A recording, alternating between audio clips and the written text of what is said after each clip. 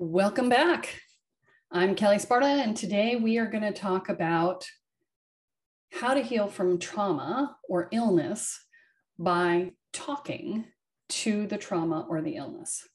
Now, there are many different ways that you can um, do healing work on yourself. Uh, today, I'm, we're just going to talk about this one because we dive deep on very small subjects, right? so, uh, we're simply going to have the conversation today about that. And so, when you have a, uh, I'm, I'm just going to talk about it from an illness perspective. The same thing works for trauma. Okay. When we have an illness, if we have a dis-ease in our system, there's a reason for it. Energetically, there's something that is a, a, foul, right? There's something going on.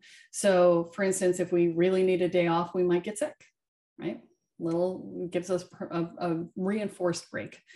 Uh, if we really need to take some time off. So my my assistant's going through this right now, and uh, she broke her wrist, and she didn't take time off, and then her computer died, and I I said okay, so I think that it's time for you to take a couple weeks off because you broke your wrist, your computer died, I'm kind of thinking your next step is going to be the hospital if you don't pay attention to what's going on. And she's like, Yeah, I kind of think I need some time off. I'm like, Okay. So, this is the sort of thing that I want you to pay attention to is sometimes the universe is going to give you hints of that nature, right? So, it, eh, something like hers is simply a matter of just saying, Okay, I'm listening and and taking the message and doing what you need to do to fix it. Other times it's not going to be as obvious, right?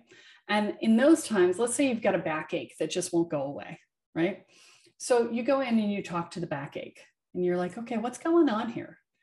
And, and it will talk to you. If you get still and you go into yourself and you get quiet and you go find that backache and you don't fight it, don't fight it, don't be angry at it, don't be frustrated with it because it's not going to want to talk to you if you put it on the defensive. Okay. This is the same thing as talking to anybody else. You just go in, you go, okay, you're trying to tell me something. What are you trying to tell me? And let it tell you. It may tell you that you've got muscle stiffness in your butt from sitting for too long and you need to roll around on some tennis balls and or you know get out more and walk more stand more or whatever it may say i'm really stressed out you know you're really stressed out about this that or the other thing. And you need to you need to address that issue. You need to look at it because i'm not going away until you do right? It could say any number of things to you. You never know what's going to come out of these things. So go in and talk to it. Let it tell you what the problem is. Because inevitably it's something that you're not paying attention to. It's something that either you haven't noticed yet or you're ignoring at which point you know you got to pay attention because your body is taking on the issue. Okay.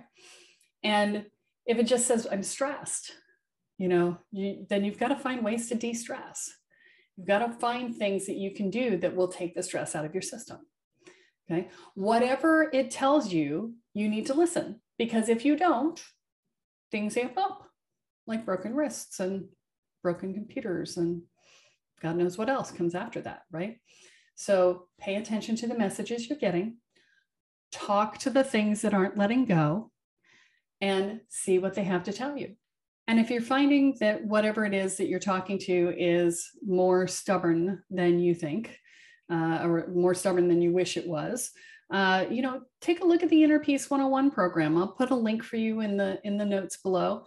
Uh, and, eh, you know, it can be really helpful for letting go of a lot of the things that are traumatizing us, a lot of the things that are causing angst and upset in our systems.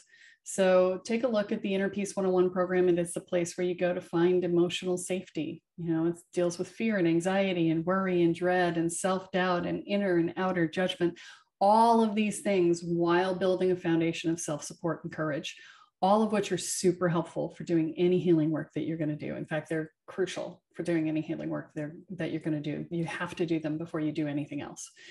Okay. And that's your tip for today. Be well. I'll see you next time.